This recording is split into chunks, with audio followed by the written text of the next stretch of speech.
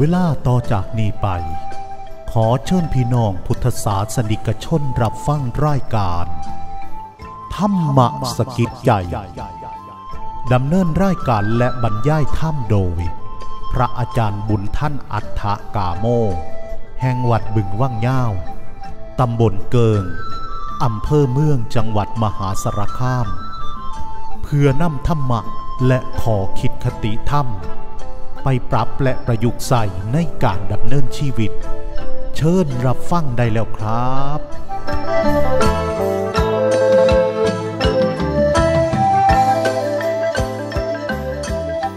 หรือธรรมะก็ได้ศาสนา ช่วยกันดูแล ทุกสิ่งทุกอย่างถ้าเราไม่ดูแลไม่บำรุงรักษาไม่มีศาสนะ นะไม่มีศาสนะ ไม่มีวัตถุ เป็นองค์ประกอบ ไม่มีวัตถุเป็นพยานหลักฐานบางที ก็ดูเหมือนกันนั่นแหละแต่คำสอนจริง ๆคำสอนเพียวๆนี่หมายถึงว่าไม่ได้เน้นอะไรมาก เน้นเป็นหัวจิตหัวใจของแต่ละท่านแต่ละคนแต่ละท่านแต่ละคน เราพอถึงใช้คำว่าพุทโธธโมสังโฆบางพุทธังธรรมังสังฆังบ้างแล้วก็เตือนสติเสมอเสมอบอกว่าให้เตือนตัวเองให้ความสำคัญกับตัวเองอย่าไปลืมนะ อย่าไปลืม ให้ความสำคัญกับตัวเองสัมผัสสัมพันธ์ ในสิ่งที่เขาบอกว่า ในสิ่งที่ควรที่จะ ในสิ่งที่ควรที่จะทำแล้วก็ในสิ่งที่ควรดำรงเอาไว้ดำรงคงไว้ คงไว้ตรงไหน เราดำรงคงไว้ตรงนี้แหละทุกสิ่งทุกอย่าง ถ้าพูดถึงตามหลัก มันก็เป็นเรื่องใกล้ตัวไง เป็นเรื่องใกล้ตัว แล้วก็เป็นสิ่งที่เราต้องต้องพึ่งพาด้วยนะ ต้องพึ่งพาด้วยถ้าเราไปพึ่งพาแต่สิ่งภายนอกเราบอกว่าเรามีข้าวกินเราอยู่ได้มีความสุขแล้วบางทีไม่ใช่นะมีข้าวขาดน้ำเนี่ยเป็นต้นเป็นผู้เป็นคนนะทีนี้ขาดคนงามความดี อันนี้ก็แย่เลยทีนี้ อันนี้แย่เลย เราจะไปขาดแต่คุณงามความดีนะ คงไว้ ทรงไว้ ซึ่งคนคุณงามความดี มีคุณงามความดีเป็นชนะ มีคุณงามความดีเป็นที่พึ่งเป็นที่พึ่ง ที่พึ่งจริงของเราเนี่ยยิ่งใหญ่ยิ่งใหยิบไปกว่า คุณงามความดีไม่ไม่ไม่มีนะ ที่พึ่งของเรา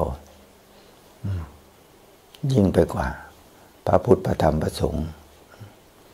และคุณประโยชน์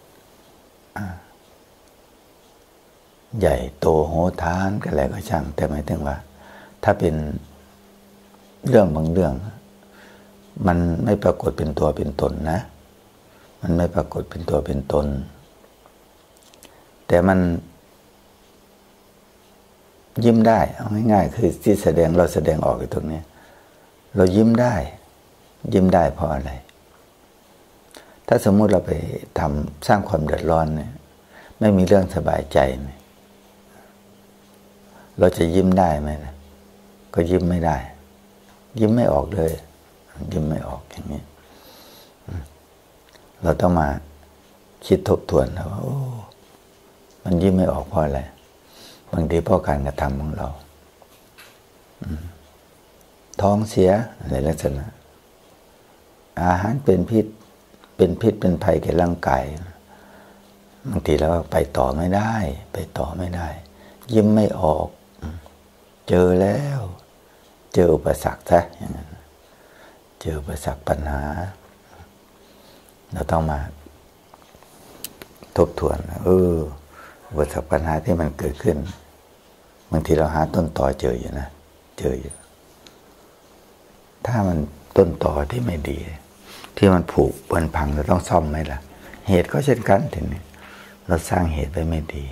สาเหตุที่ยิ้มไม่ออกอยู่ทุกวันทุกอยู่ปัจจุบันเนี่ยเพราะอะไร บางทีเพราะการตัดสินใจผิด บางทีเพราะก้าวผิดในลักษณะอย่างนี้ต่อไปเราต้องเอาให้เอาให้แม่นกว่านี้ดีกว่าไหมอะไรสัก บางทีคำพูดไม่ขี่ประโยคนะทำลายตัวเองทำร้ายผู้อื่นทำลายตัวเองทำร้ายผู้อื่น ไม่ไม่ขี่ประโยคอ่าแต่บางคน บางคนที่นี่บางคนหมายถึงว่าสร้างคุณูประโยชน์ด้วยคำพูดด้วยการสั่งการสอนด้วยการทำเป็นแบบอย่าง เป็นแม่แบบอะไรสัก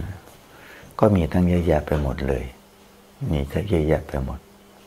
ไม่เหมือนกับที่ว่าอ่าบางคน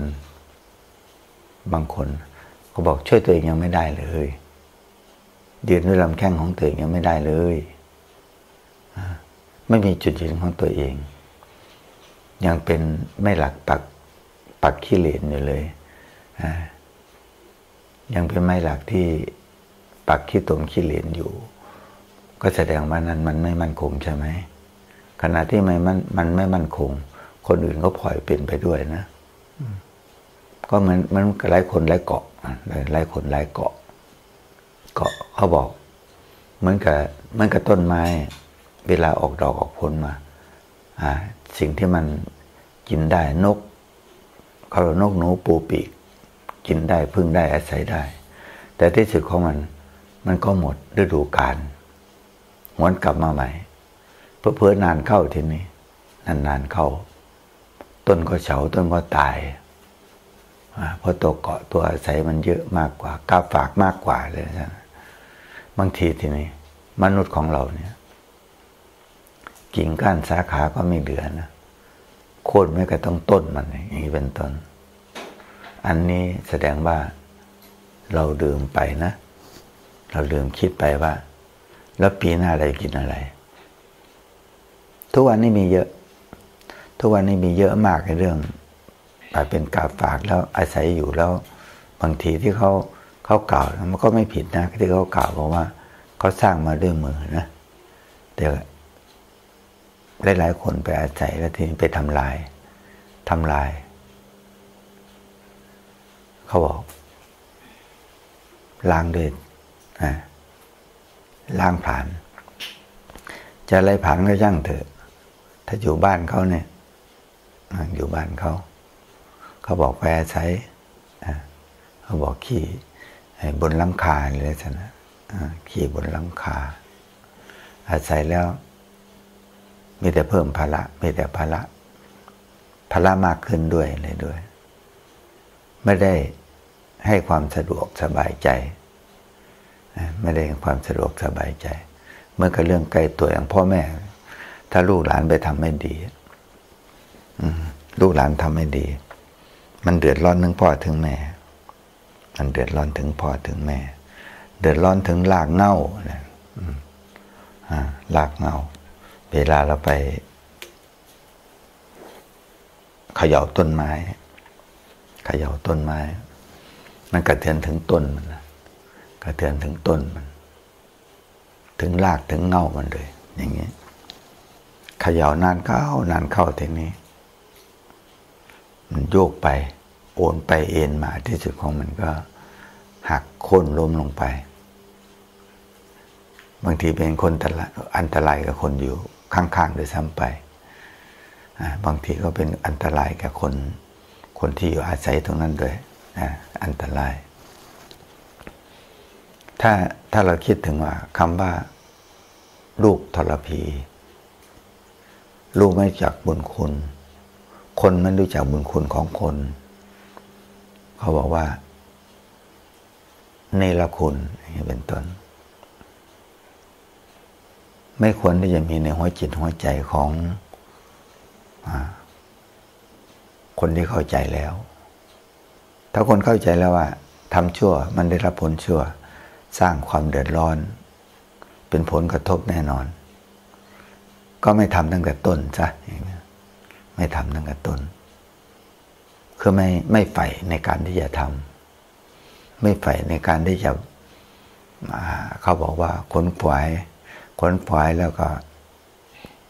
เพิ่มพูน ในสิ่งที่ควรเพิ่มพูนบุญกุศลทีนี้บุญกุศล บุญกับบุญกุศลนะ แล้วก็อากุศลอากุศลที่เป็นผลไม่ดี เราก็ไม่ควรที่จะแวะเบียนเข้าไปแวะเบียนเข้าไปนำความเดือดร้อน สร้างความความเดือดร้อน ครั้งแล้วครั้งเล่าทีนี้ครั้งแล้วครั้งเล่าไม่ได้ใส่ใจเลยทีนี้บาป บาปมันก็เพิ่มขึ้น ถ้าเราไปทำให้พ่อแม่หรือผู้มีพระคุณทั้งหมดทั้งหมดไม่สบายใจ มันก็เป็นผลกระทบทั้งหมดเลยทีนี้ผลกระทบ ที่สุดของมันเรา ผลกรรม ไม่ต้องไปรอชาติหน้าเขาบอกไม่ต้องไปรอชาติหน้า มันจะปรากฏผลไม่ใช่ผลในชาตินี้แหละ อย่างนี้บางคนก็โดนสาบแช่ง แต่บางคนเขาทำเขาทำดี มีใครสาบแช่งไหม ถ้ามีคนสาบแช่งก็แสดงว่า นั่นคือผิดปกติแล้วแหละใช่ไหม คนที่สาบแช่งนะผิดปกติ เขาทำดีเอื้อประโยชน์ให้แก่คนอื่น ทุกวันนี้ในสังคมนะ เมื่อก่อนย้อนกลับไปไม่ค่อยมีนะ กู้ภัย กู้ภัย ช่วยเหลือสังคม ช่วยคนเดือดร้อน ช่วยคนเดือดร้อน รวมทั้งแม้เหลือถ้าพูดทุกวันนี่เนี่ยไม่แต่งูเข้าบ้านอะไรสักนั้นมันไม่มีที่ไปเนาะมันก็ไปซุกอยู่ตรงนั้นบางทีมันไม่มี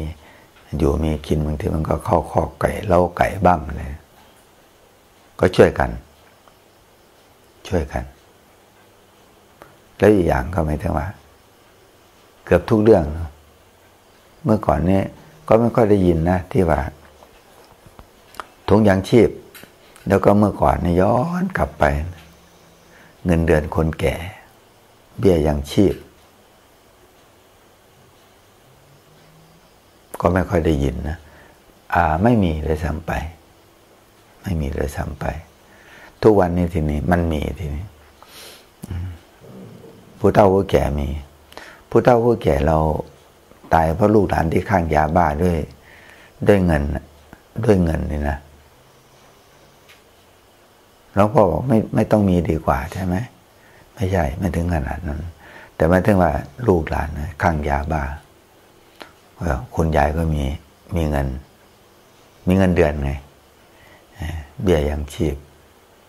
อาจจะเป็นห้าร้อยแปดร้อยหรือพันบาทเนี่ยเงินออกโรคต้อร้านเหรียญที่มันควบคุม ตัวเองไม่ได้คือ เอาพวกข้างยาบ้าพวกบ้าพวกไม่ปกตินะคนที่ไม่เสพยาบ้า หัวจิตหัวใจไม่ปกติ ก็สร้างความเดือดร้อนให้พ่อแม่ทั้งนั้นเลยถ้ามันไม่ปกตินะอาศัยทีนี้บางทีก็อาศัยบางทีพ่อแม่รวมรวมกัน ได้หลายบาทเอาไปลงทุนต่อยอดอเขาบอกว่า เอาไปลงทุน มันได้กำไรมา ก็มาคืนพ่อคืนแม่เลยสักถ้างั้นก็ เก็บไว้รวมไว้ถึงข่าวพ่อแม่พัดภาคจากเรา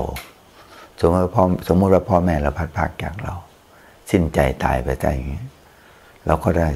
สิ่งเหล่านี้ มันไม่ใช่เฉพาะที่ว่า คิดได้เฉยๆนะ ต้องมีทุนด้วย ต้องมีทุน ทุกวันนี้ก็ช่วยได้เยอะทีนี้กรมธรรม์ประกันชีวิตอะไรลักษณะอย่างนี้ ชาปนกิจ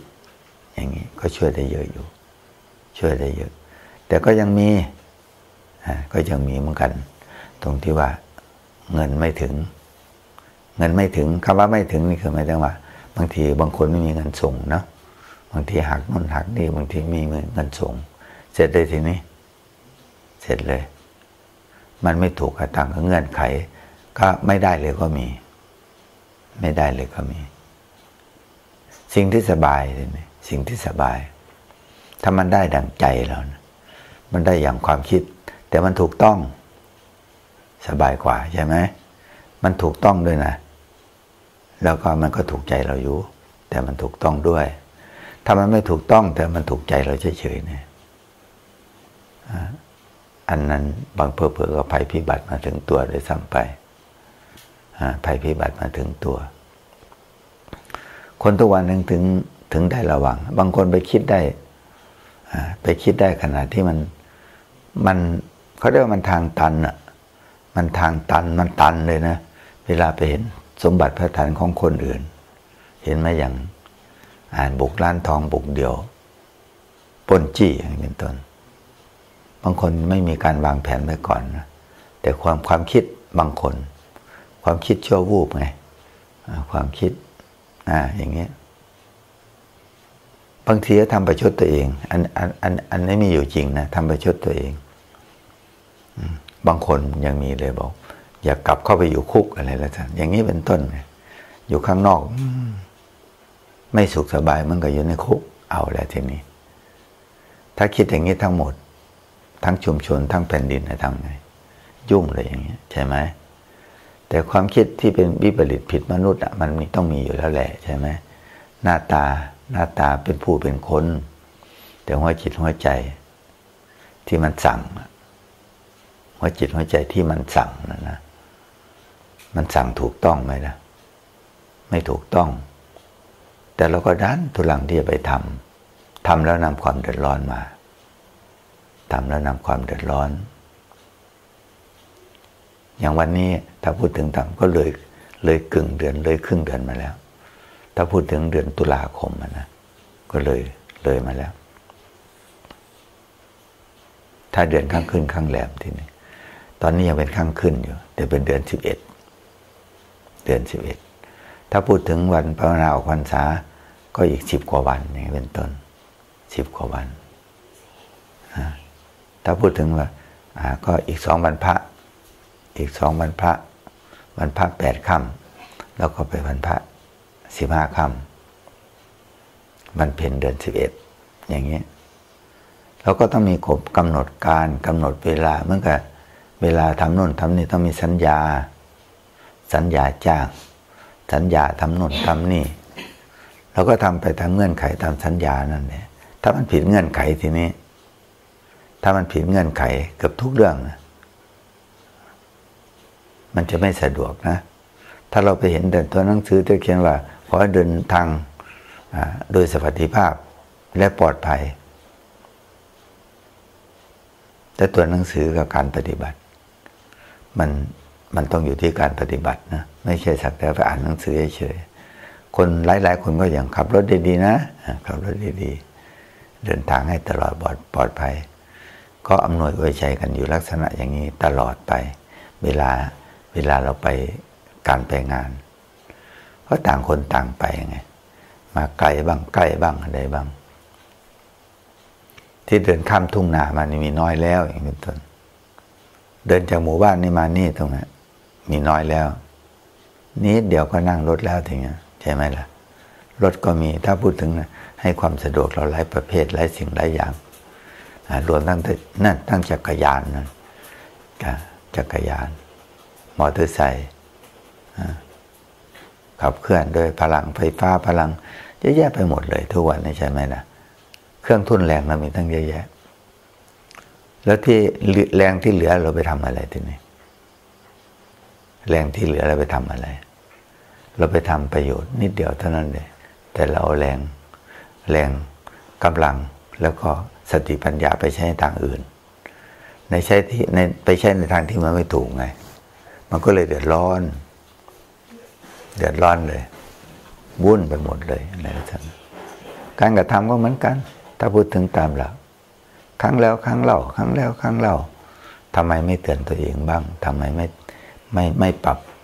ปรุงไม่เปลี่ยนแปลงบ้างแม้แต่คำพูดก็เหมือนกัน ถ้าไปเสียดแทงคนอื่นจนเกินไปก็เราก็ต้องดู เดี๋ยวคนอยู่ด้วยกันต้องเข้าใจนะ จะไปให้ขอโทษกันทั้งวีทั้งเวรในเช้ายันเย็น อย่างเงี้ยบางทีก็เกิดความลำคาญเหมือนกันนะเกิดความลำคาญ ถ้าหัวจิตหัวใจมันไม่ปกติ เคยได้ยินว่าพ่อ อย่างนั้น พ่ออย่างนี้ แม่อย่างนี้ ลูกอย่างนี้บันใดวันหนึ่งเกิดความหงุดหงิดขึ้นมา มันไม่ใช่ลักษณะ ได้ยินคำว่า พ่อก็ยังบางทียังเซ็งยังเบื่อเลยใช่ไหมล่ะ เบื่อเหลือเกิน ลูกเรียกบางครั้งบางคราวใจเราสบายก็เลยได้ยินเสียงลูกก็เลย มีพละมีกำลังแล้วมีกำลังทางใจมีกำลัง มีพละที่กำมีพลังที่จะทำงาน ที่จะสู้ต่อเหมือนกันแต่บางครั้งบางคราวก็เสียงลูกอีกนั่นแหละทำไมมันไม่ปกติก็แสดงว่าจิตของเราไม่ปกติเวลารักก็รักจนหลง รักทั้งรักทั้งหลง แต่บางที เวลาเกลียด เกลียดก็ชังตามมาเลยใช่ไหมล่ะ เกลียดชัง แต่ไปคิดได้ก็เอาอะไรทีนี้ ที่เขาบอกว่า ตบหัวแล้วรูปหลัง มันก็ยังดีกว่านะ ดีกว่าไม่ทำอะไรเลย บางทีตบแล้วก็ตบแล้วก็แล้วไปยังจะไปซ้ำอีกให้ตายเข้าไปอีกอะไรลักษณะจะไปซ้ำเติมให้มันหนักเข้าไปอีก อย่างนี้ ไม่ใช่เฉพาะภัยสงครามหรอกหลวงพ่อว่า อยู่ที่บ้านบางทีทะเลาะกันบางบางทีเห็นไหมอย่างฆ่าหมกไว้ในโอ่งอะไรลักษณะฆ่าหมกไว้ในโอ่งมีกันฆ่าแม่ใหญ่หมกไว้ในโอ่งตัวเองก็หนีไป แล้วมันจะหนีกรรมพ้นไหมล่ะ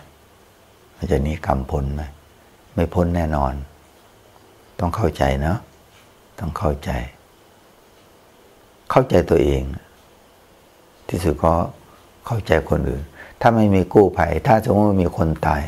ไม่มีใครเก็บศพเองถ้ามีคนตายในชุมชนในหมู่บ้าน ถ้าไม่มีใครช่วยกัน เก็บศพจะทำไง เน่าที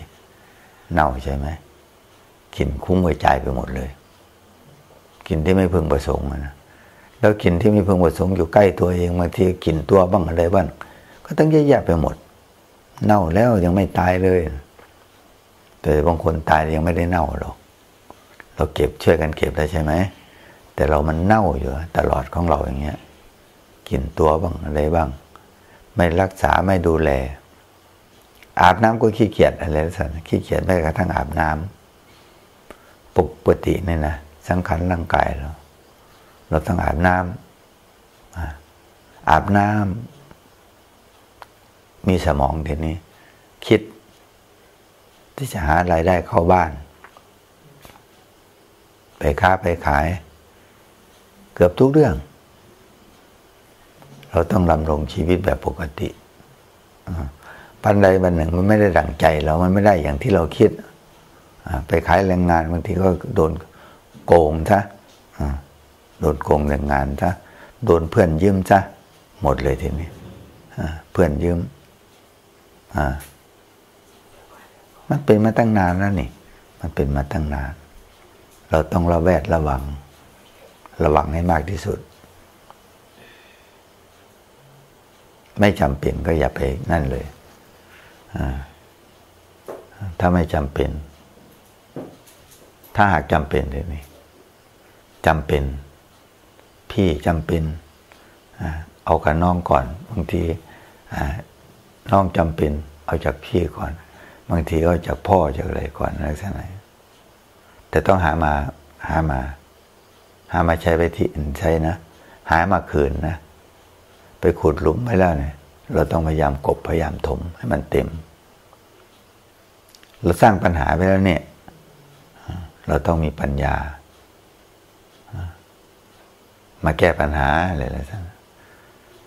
อย่าให้ปัญหานั่นนะเล่นงาน ปัญหาเล่นงาน บุญบายตามมาเลยนี่อย่างเงี้ยบุญบายตามมาเลย มันเยอะมาก เยอะมากเลยเขาถึงบอกว่า คนไทยเราเมื่อย้อนกลับไปหลายปีนะลืมตาดูดูโลกมาก็เป็นเป็นหนี้โดยเฉลี่ยก็โดยประมาณก็ประมาณแปดหมื่นนะทุกวันนี้คงไม่ใช่แล้วมั้งหลวงพ่อว่า ทุกชีวิตเก้าสิบเปอร์เซ็นเป็นหนี้อะไรนะ เก้าสิบเปอร์เซ็นในร้อยนะ ไม่ใช่พันหนึ่งเก้าสิบเปอร์เซ็นก็ไม่ใช่ ในร้อยนั่นนะร้อยหนึ่งถ้าคนร้อยคนก็เก้าสิบกว่าคนเป็นหนี้ในลักษณะมันก็มันก็เป็นอยู่อย่างนี้แหละน้องพ่อว่าลำบากเหมือนกันเนาะลำบากลำบนยากเห็นแสนเข็นเลือดตาแทบกระเด็น คนทำก็ทำอย่างนั้นคนไม่ทำทีนี้นอน รอพละกำลังก็มีแบมือขอ มันจะถูกใจคนที่คนคนให้ไหมล่ะ อย่างนี้มันจะถูกใจคนที่หามาหามา คนหนึ่งทำงานก็ทำงานอยู่แล้วแหละใช่ไหมอีกคนหนึ่งไม่ทำมันก็เกิดปัญหาได้เลยขัดข้องมองใจกันขึ้นมาขัดข้องมองใจ อันนี้ก็เยอะเหมือนกันนะในครอบครัว ครอบครัวน่าจะมีความอบอุ่น ครอบครัวน่าจะพร้อมหน้าพร้อมตา กินข้าวทานข้าว คุยกัน สนุกสนานบ้างวางแผนบ้าง ขับเคลื่อนไปยังไงเลยสนะ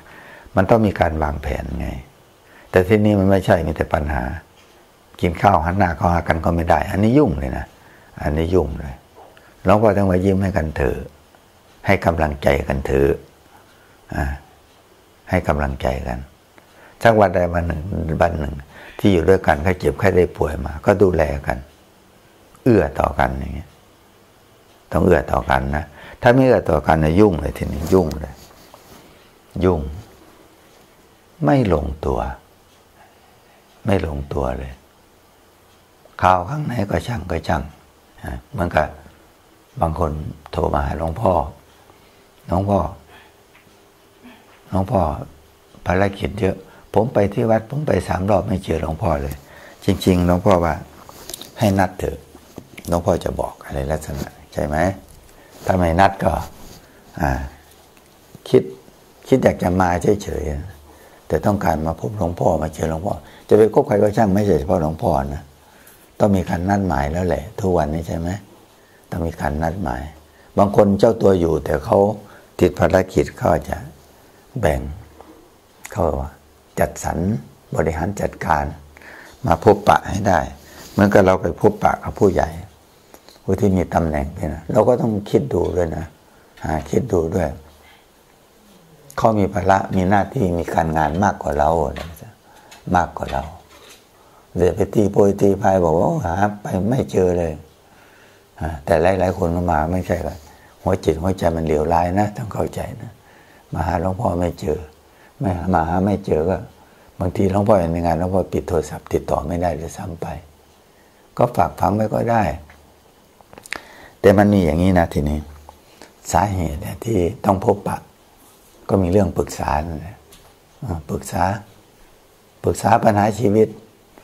หลวงพ่อโอ้ทำมาปรึกษาตอนนี้เลยหลวงพ่อมัน มันจะสายไปใช่แล้วนะเพราะเราเพราะเพราะเรามัน มันมีการเริ่มต้นอะไปเจอปัญหาแล้ว ไปเจอปัญหาแล้ว ง่ายๆคือหมายถึงว่า ถ้าสมมติว่า อย่างโรงพยาบาลเนี่ย อย่างโรงพยาบาล เครื่องไม้เครื่องมือไม่พอเป็นต้น อันนี้หลวงพ่อเปรียบเทียบไปไกลไกลเกินไปหรือเปล่า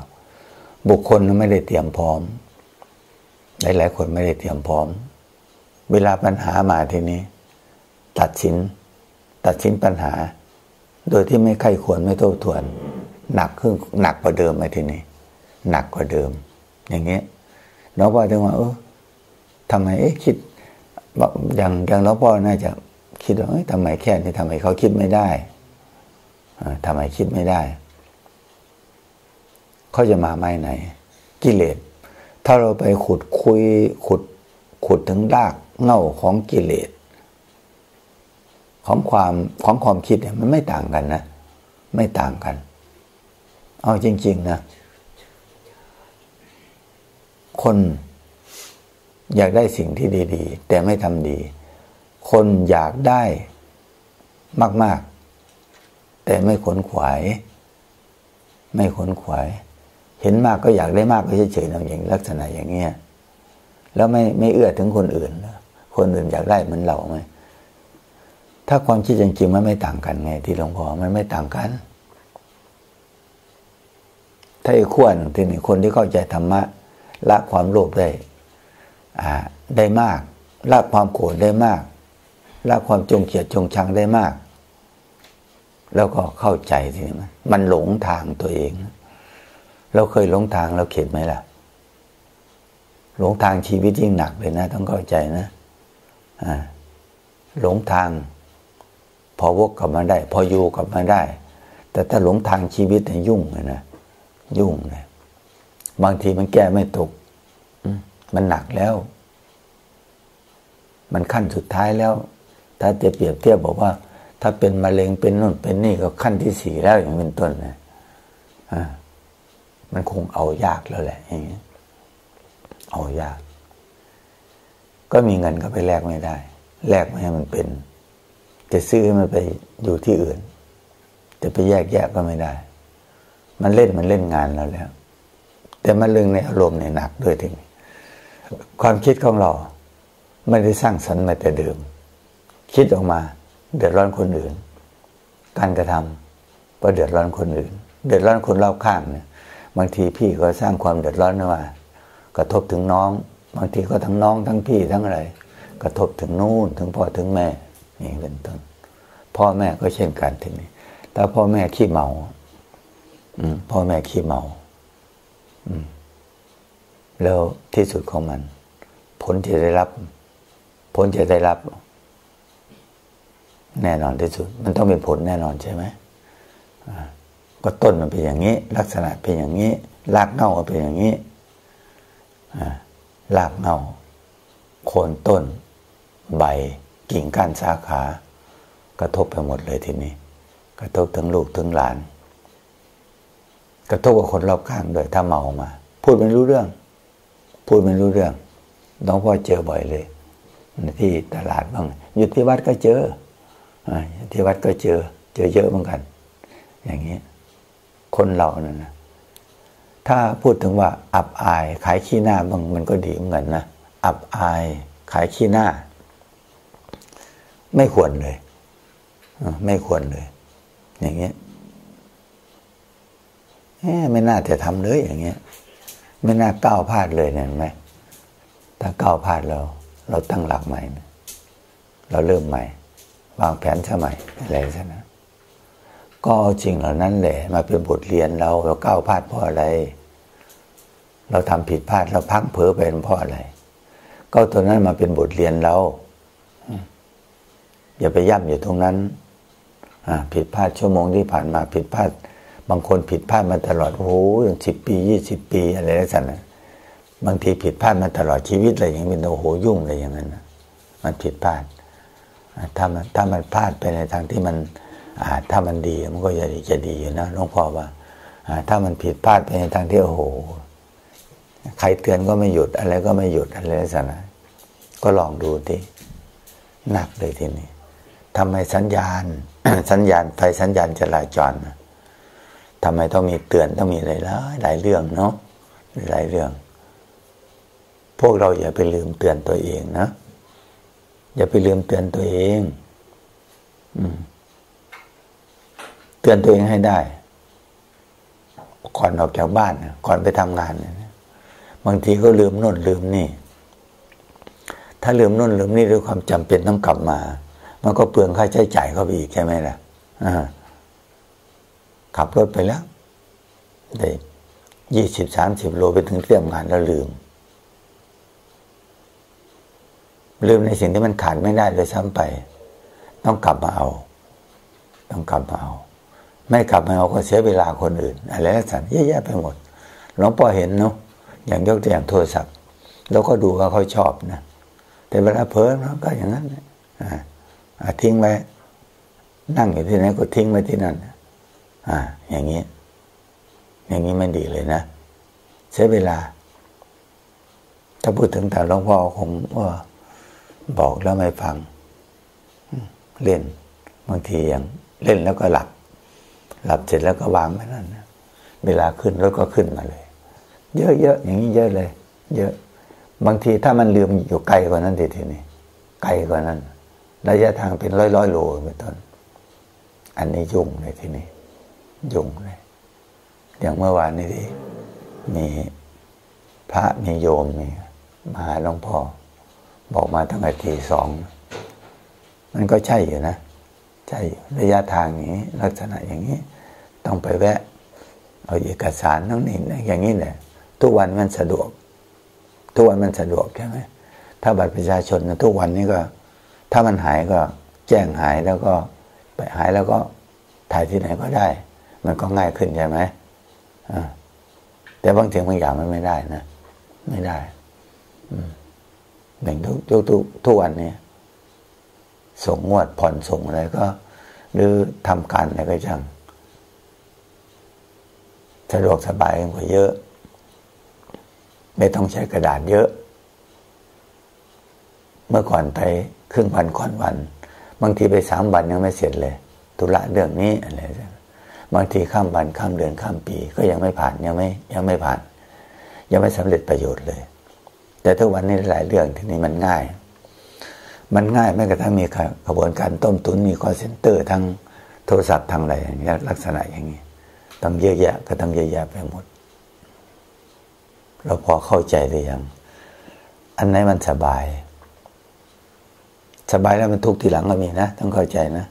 ตอนนี้โอ้ยสบาย สบายเลย เดี๋ยวมันให้ทุกทีหลังก็ได้เขาถึงบอกว่าลำบากก่อน ไปสบายทีหลัง ถ้ามันสบายตลอดมันก็ดีเลยง่ายสบายตลอดเลย แต่เวลามีอุปสรรคมีปัญหาขึ้นมานี่ เราต้องทำใจแล้วสิ่งที่สบาย ก็เคยได้รับมาแล้ว ได้มากก็เคยได้มาแล้ว ได้น้อยก็เคยได้มาแล้ว ก็สิ่งเหล่านี้แหละมาสอนตัวเองอ่า เอาอย่างนี้แหละเอาสิ่งเหล่านี้แหละมาสอนตัวเอง อย่างนี้ มาเตือนตัวเองภัยพิบัติที่มันเกิดขึ้น สิ่งที่มันบางทีจะไปโทษใคร ถ้าพูดถึงตามหลัก จะไปโทษใครล่ะทุกวันนี้รถมันเยอะอย่างเป็นต้นขับรถไปไม่หลีกให้ไม่ไม่หลีกให้กู้ภัยขับรถไปไม่หลีกให้รถพยาบาล ที่จะไปรับคนป่วย บางทีก็คนป่วยอยู่ตรงนั้นแหละ อยู่บนรถมีอยู่แล้ว ก็มีเรื่อง มีเรื่องกัน ช่วยกัน ที่แท้ก็ช่วยกันนั่นเองเลยบางทีก็ลูกเต้าไปด้วยเนาะพ่อแม่รถติด รีบก็ไป ไปรีบไม่ได้ ไปไม่ได้ เขาไม่หลีกทางให้ อะไรสักไม่หลีกให้นั่นแหละรวมๆใช่ไหมถ้าหลีกให้ก็แสดงว่านั่นคือน้ำใจ น้ำใจแล้วก็เข้าใจเรื่อง เข้าใจเรื่องของกฎของสังคม ถ้าเราเข้าใจกฎของสังคมเนี่ย จริง ๆก็ก็ต้อง ลดความคิดนะนะความคิดของเรา มาหน้าทิฏฐิ ช่างมันเถอะ ช่างมันเถอะ ถ้าช่างมันเถอะนี่หมายถึงว่า เราเคยคิดบ้างไหมช่างมันเถอะ ถ้าเขาเอาบ้างนะ ช่างก็เถอะ ช่างมันเถอะ ช่างก็เถอะยุ่งเลยแต่บางสิ่งบางอย่าง บางสิ่งบางอย่าง เราคิดได้ทำไม่ได้ คิดได้ทำไม่ได้ บางสิ่งบางอย่าง คิดได้ทำได้ตอนนั้นเลย คิดได้ก็ทำได้ด้วย แต่บางเรื่องทีนี้ ข้ามปีข้ามวันข้ามข้ามเดือนข้ามปีอะไรสักเมื่อกับการผ่อนส่งนี่ ผ่อนส่งยาวไหมล่ะ ในชีวิต ชีวิตทั้งชีวิตเลย ผ่อนส่งสิบห้าปีสิบปียี่สิบปี ผ่อนส่งอะไรบ้าง บ้านบ้างอะไรบ้าง อย่างนี้ มีบ้านอยู่อยู่ แต่มันต้องจ่ายยิ่งหนักกว่าค่าเช่าเลยซ้ำไป หนักกว่าค่าเช่า มันถึงทุกวันนี้มันมิจฉาชีพแล้วก็ คนที่คิดผิดผิดไปทำผิดมันทั้งเยอะไง มันทั้งเยอะอไปขายยาบ้า ส่งยาบ้าไปมันก็เลยขบวนการสีเทามันถึงได้เกิดขึ้นมาเกิดขึ้นมา มันมาจากสีเทาทั้งหมดทีนี้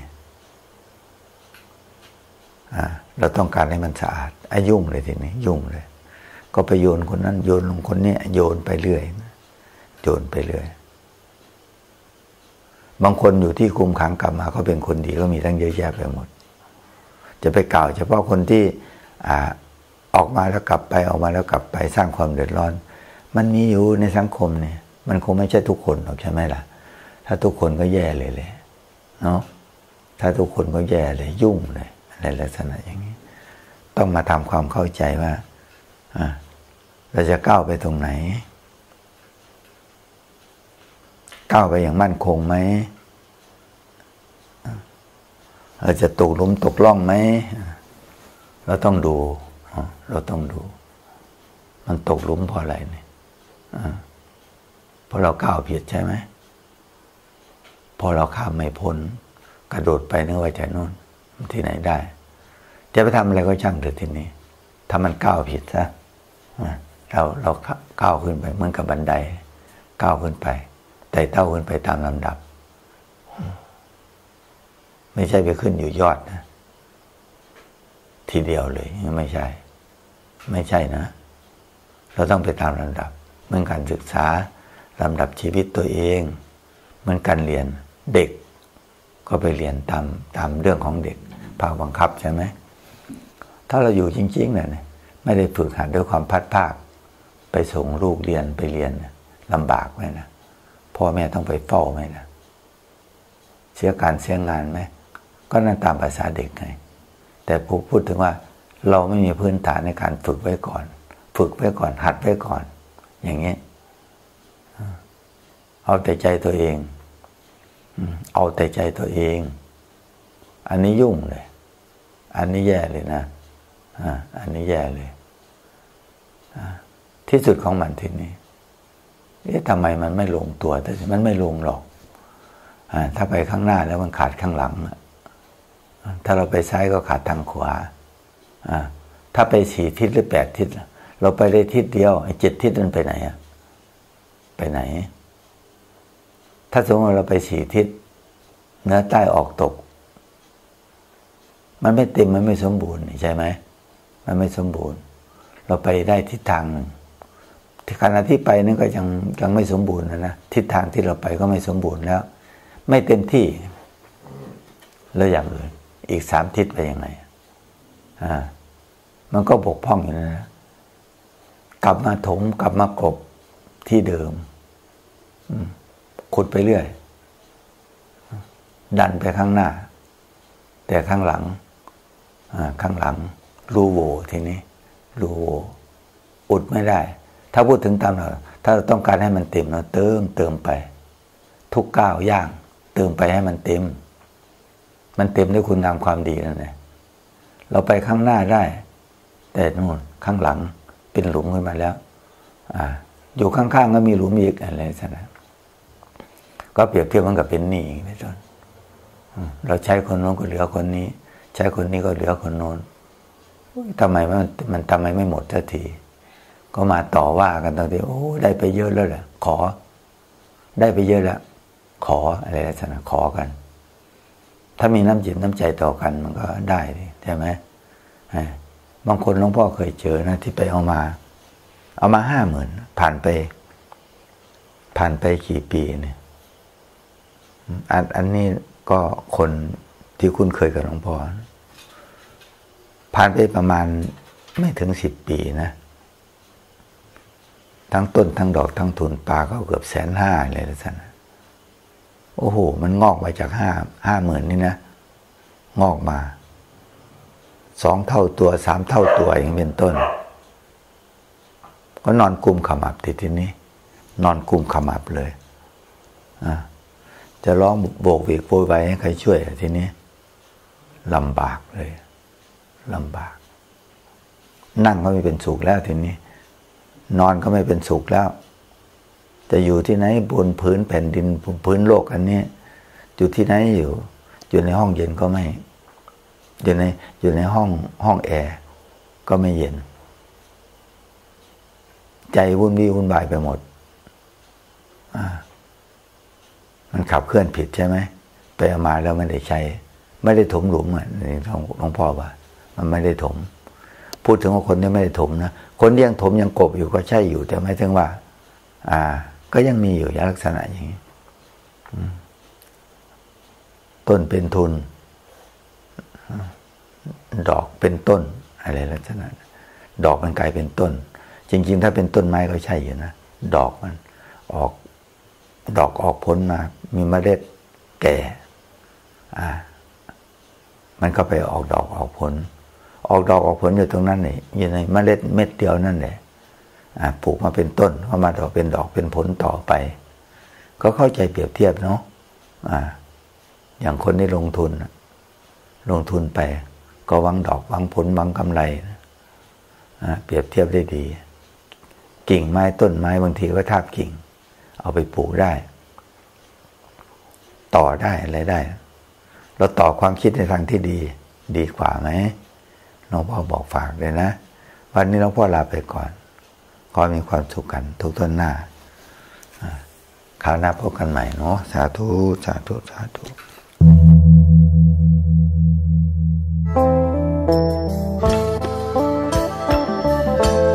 วัดบึงว่างง่าตำบลเกิงอำเภอเมือง จังหวัดมหาสารคาม ขอบอกบุญมายั่งพุทธศาสนิกชนชายไทย ที่เลื่อมใสศรัทธาในพระพุทธศาสนา ต้องการบวชเป็นพระภิกษุหรือสามเณรโดยวิธีประหยัด เรียบง่ายถูกต้องตามพระธรรมวินัย เพื่อศึกษาค้นคว้าปฏิบัติคัดเกลากิเลสชำระจิตใจ หาทางพ้นทุกตามหลักพุทธศาสนา แต่ขัดสนด้านปัจจัยและทุนทรัพย์ทางวัดบึงวังย่าว โดยหลวงพ่อบุญท่านอัฏฐกาโม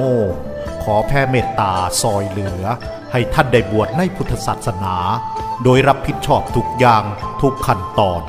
เพียงแต่เตรียมร่างกายและจิตใจให้พร้อม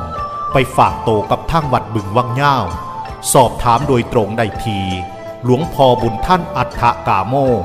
089 709